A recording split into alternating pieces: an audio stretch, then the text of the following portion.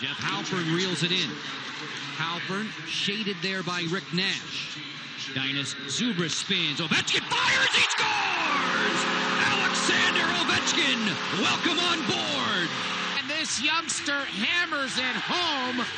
What a first goal for Alexander Ovechkin. He will remember this with his folks in the crowd tonight forever.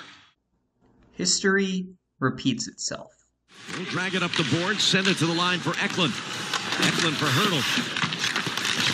Defending is Andrew Peeke. Just jamming his stick there, but of course Hertl has that big reach and the body type to be able to protect so well. Pouliot, here's Eklund. I recently made a video talking about the parallels between the Washington Capitals and the San Jose Sharks, including those between Alex Ovechkin and William Eklund. Right after I made that video, Eklund was called up to the Sharks to make his season debut against the Capitals of all teams on the day leaving 302 days left in the year. I extensively talked about the number 32 in my previous video on the topic, so I won't waste my time repeating it here.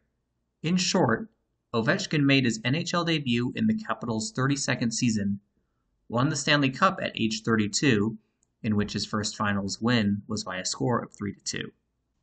And his first ever game was a 3 2 victory.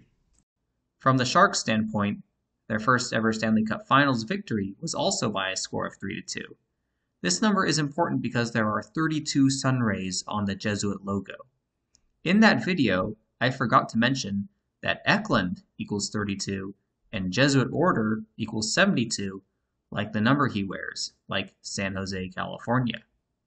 The Sharks lost this game against the Caps 8 3, like San Jose. This also happened to be exactly 72 weeks after Eklund's NHL debut.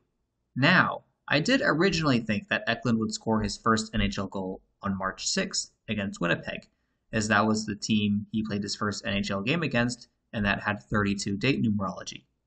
That was not the case, but the Sharks did win that game 3 2.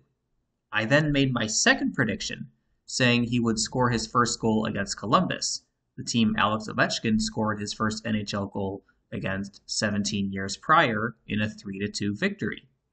I made this prediction because it would be 153 days after Eklund's birthday, just like Jesuit Order, and it had 24 date numerology, like San Jose.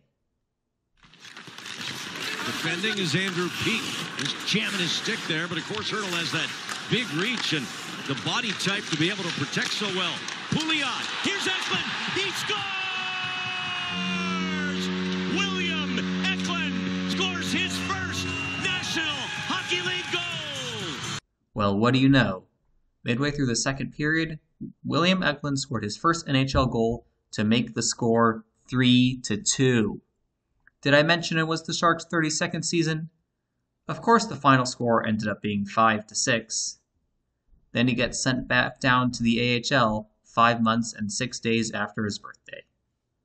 They couldn't have scripted it any better.